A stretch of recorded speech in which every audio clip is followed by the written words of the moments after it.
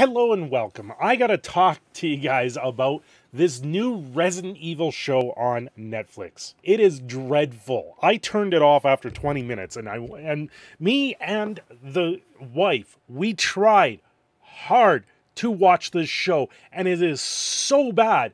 We turned it off. It, we couldn't even get through the first episode. We were like, "What the hell is this?" It was like a teenage drama set in a sterile environment in a hospital setting sort of that jumped around from the the past to the future with no sense of timeline control.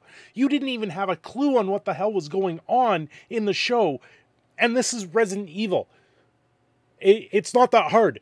You add zombies, you you add bioweapons, you add things in there that just go together. The, the it was a B game. It was a B movie game back when it was released. And why don't we get that grittiness from this type of thing? No, we have two girls, I'm guessing, because they made it all about veganism and and fighting. How how one girl and another one, I think, I don't even know at this point, how two girls in a school fight each other because one's a hunter gatherer and the other one's a vegan.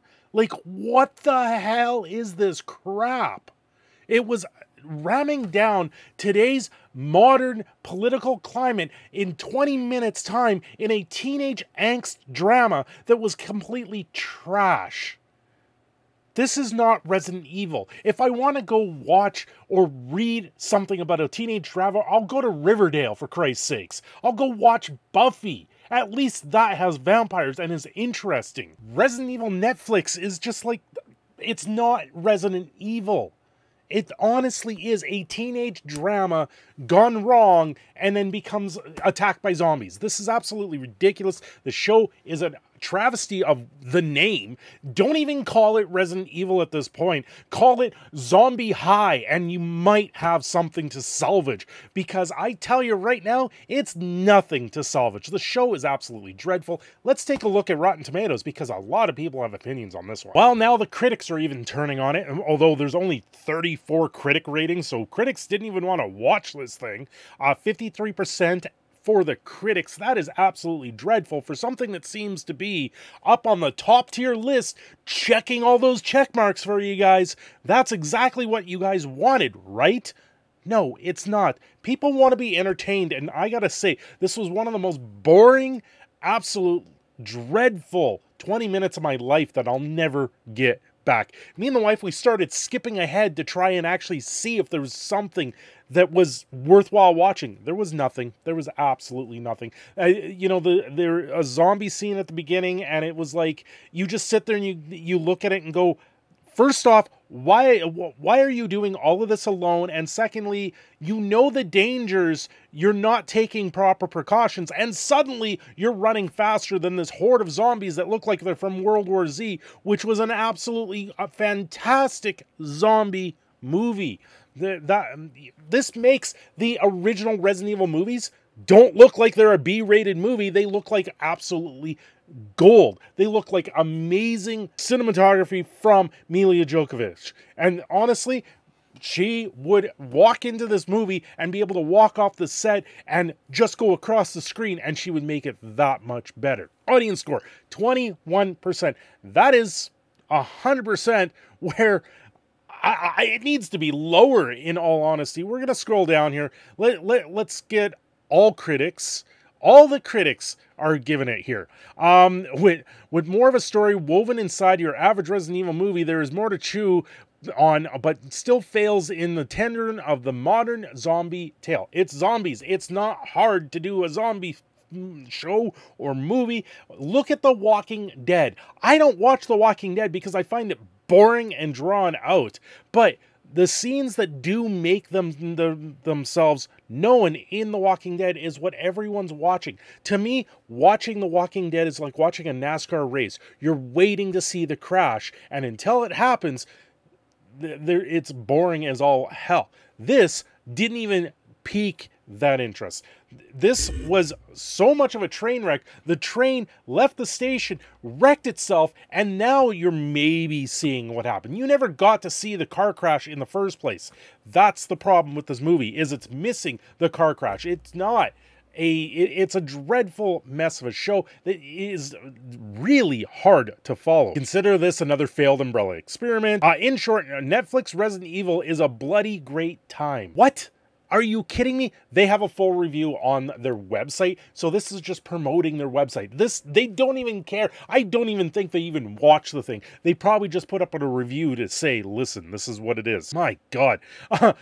This Resident Evil if it was made by the CW, a lot of the show is unrecognizable from the video game. 100%. It, it's not even CW. It, it's just absolutely ridiculously dumb. The two the two people go to school and they fight because one hunts animals and one's a vegan and it's like this doesn't happen.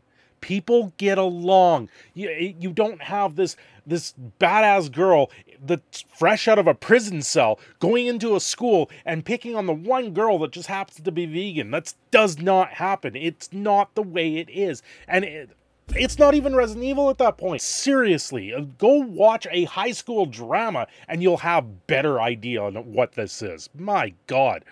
Resident Evil was absolutely dreadful in the first 20 minutes. I did not like it.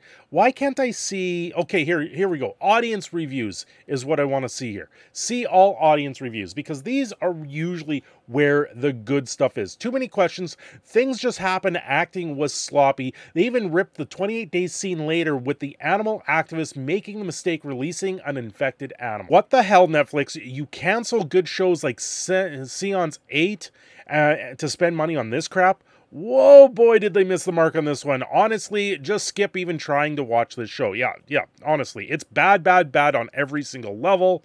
Uh, the worst Resident Evil and, uh, adaptation I've ever seen. Five stars was great when you don't try to compare it to what came before.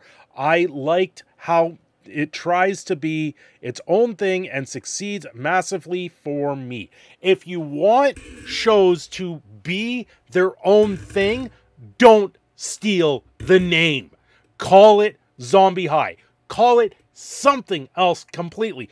Do not tie it to the Resident Evil name. That is the major takeaway here. If you're going to put up a show and then throw all the source material out there like The Last Jedi, don't associate it with the original content. My god, so slow and boring, 100%.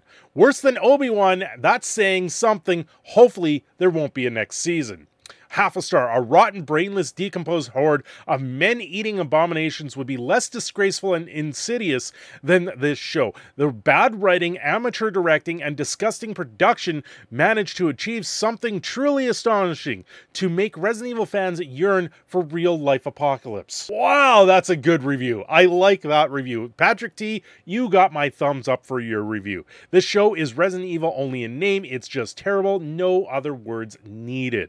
Uh, this goes on. Like there's so much I can I can relate here. I'm Resident Evil, I grew up with it. I love the games. I went through Resident Evil 1 and 2 are probably my favorite games. Um, the Milla Jovovich movies, the fact that they went continuing and they made millions of dollars and it was great to see on the on the big screen it came out with uh they're all going to kill you meme um it, there was stuff that came out of that movie that just worked even though there was a lot of things in there that just doesn't work Oh, ultimately, but it made the sense of it being a B style movie with a Hollywood budget. That was the difference. It actually stuck to the core material, it stuck to the things that made the show good and why it worked. But this show was absolutely a dreadful mess. Yeah, I only got through 20 minutes and I I'm not going to be watching the rest because it was bad. And you can see here the critics and the audience are just ripping this show a new one. It needs to be discontinued. And thanks for watching this, your proud Canadian Phoenix Cindershadow. Don't forget to like and subscribe, and I will see you all next time.